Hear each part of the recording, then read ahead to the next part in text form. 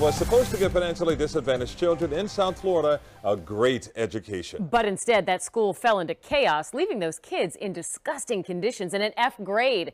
Investigative reporter Bob Norman broke the story, and tonight he follows the money. It's just disgusting. It smells like urine throughout the hallways, You've heard the parents' complaints profanity all over the walls. And seen the terrible conditions discovered inside the F graded Paramount Charter School, funded with more than $3 million in taxpayers' money. Money froze, no money. Ah, the money. It's all gone now, replaced with a trail of debt. The big question where did it go? it's been extraordinarily tragic. Really, I mean, tragic for our for the students in that building. Rob Giordano is VP of Utah based American Charter Development, Paramount's landlord and investor that claims huge monetary losses on the school. We lost well over a million dollars. Giordano says the problem centered on the school's president and founder, Jamaica Mason, You do not have permission. and Mason's sister, Maya Williams, He does not have permission. Camera shown here in 2015, trying to stop us from taking video of the school. In our view, there's been fraud. Giordano says Mason set up a nonprofit company to manage Paramount called the Advancement of Education and Scholars Corporation, but also set up a for profit company with an almost identical name that received large sums of money. Nobody knows who that organization was, and there was tens of thousands of dollars, in excess of thirty thousand dollars a month, going to this shell organization. We took all the information that we had and we sent it to the Broward County Charter Schools office.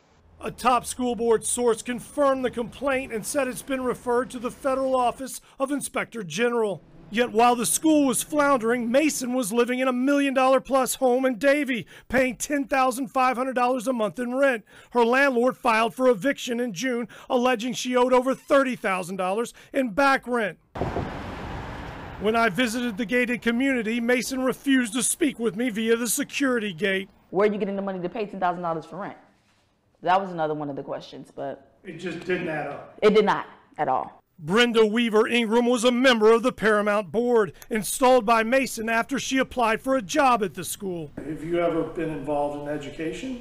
No, like So you had no experience No. in schools whatsoever? no, no. She says, do you want to be a Yes. member of the board of directors? Yes, Weaver Ingram said she immediately realized the school was a mess that owed big money. she never had any documentation when we went to any of these meetings, and they wanted to know exactly how she was going to pay them back the money, but she had no idea how she was going to pay them back the money or where she was going to get the money from.